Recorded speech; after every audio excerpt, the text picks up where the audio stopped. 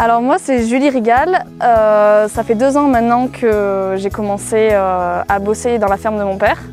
Euh, c'est une ferme que mon grand-père a rachetée dans les années 70 et où il a commencé avec des vaches salaires parce qu'il venait du Puy-Marie. Donc c'était son enfance et à Paris ça ne lui plaisait pas trop. Donc il a racheté ici, donc on n'est pas natif d'ici mais la montagne où on est lui a vraiment plu, le cadre de vie, la tranquillité par rapport à Paris. Et il a voulu des salaires parce que bah, c'était la race euh, d'où il venait, le berceau du Puy-Marie. Il a commencé à traire les salaires avec un cheptel de 50 et euh, en 2003, euh, mon père s'est installé et a monté les vaches vers 70. Et du coup, maintenant, bientôt, ça va être moi, la troisième génération, qui vais reprendre. donc on a 100 mères et j'en reprends la moitié, 50 pour le commencement. ici, par exemple, on a un troupeau de 50 mères avec pratiquement toutes des veaux où elles vont passer euh, l'estive euh, de l'été.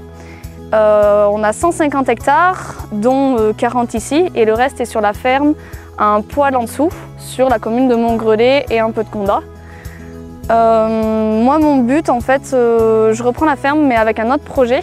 Mon père, pour l'instant, il est dans un système conventionnel, avec des broutards croisés charolais d'un taureau qu'on voit là-bas. Et en fait, euh, les veaux vont être sous la mer jusqu'à 6-7 euh, mois où on va les sevrer. On va faire euh, le début de l'engraissement, le post-engraissement. Et après, on va les vendre à un négociant qui, lui, les vendra en Italie ou en Espagne. Et en fait, le but, ça me plaisait pas trop parce que c'était pas très écologique, c'était, ça rapportait pas assez pour se sortir un salaire. Et euh, socialement, euh, maintenant, euh, on nous demande autre chose, les consommateurs nous demandent autre chose.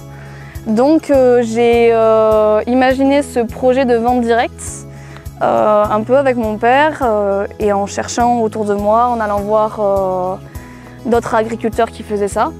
Donc le but, pour l'instant, ça va être d'arriver à un bovin par mois, tué à Neussargues et transformé à Saint-Flour. Euh, par le producteur à l'assiette. Euh, j'en ai déjà fait une euh, cette année et je vais en faire une deuxième là.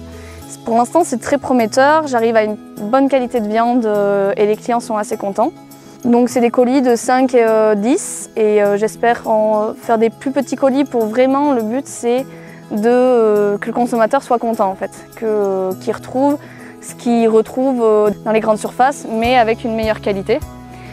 Et pour arriver à cette qualité, justement, euh, on passe par en fait, la tranquillité de la bête, donc les grands espaces, le fait qu'elle soit euh, docile. Ça permet que quand on les manipule, pour X ou autre raison, pour les soigner, pour quand le veau et euh, pour les emmener à l'abattoir, qu'elle soit tranquille et pas stressée. Je vais retourner en pur salaire. Pourquoi la salaire? Parce qu'elle est adaptée au territoire. Euh, c'est une vache qui s'adapte très bien, qui a des bons aplombs pour la montagne, qui aime bien euh, les herbes montagneuses. Euh, ça la dérange pas, elle n'a pas besoin tout le temps d'herbes grasses. Donc les bœufs, ils vont aller jusqu'à 3 ans. Ils sont castrés vers 14-16 mois. C'est le veto qui le fait sous anesthésie, anesthésie générale et locale. et après, je les laisse grandir jusqu'à 3 ans. L'engraissement se fait principalement à l'herbe. Et il y a une petite finition à l'aliment, un aliment euh, label rouge euh, que j'achète. Après, il y a aussi des angus.